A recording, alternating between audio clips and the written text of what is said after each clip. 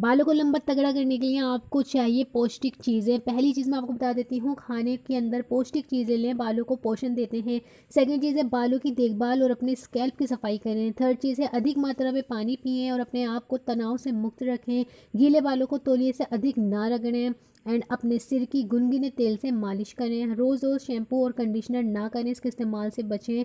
Daily बालों को भी ना धोएँ और अधिक हेयर ड्रायर का उपयोग ना करें, जिससे हम बाल गर्म करके सुखाते हैं ना, ऐसा नहीं करना है।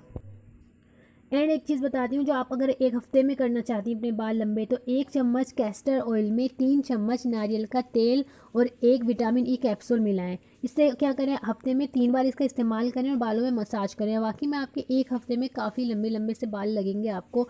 एंड पतले बालों को घना करने के लिए चाय पत्ती के पानी में आंवला पाउडर मिलाकर बालों में लगाने से बाल बहुत तेज़ी से बढ़ते हैं। ये बालों को झड़ना रोकता है। अब देखिए, कोई भी एक दिन में बाल नहीं बढ़ा सकता, लेकिन हम बालों की ग्रोथ बना सकते हैं ताकि बालों को पोषण मिले और वो स्पीड से बढ़ने लगे। तो प्लीज़ अगर आपको वीडियो ज़रा भी पसंद आया हो तो चैनल को सब्सक्राइब कीजिए, वीडियो को लाइक कीजिए, शेयर कीजिए। बाय।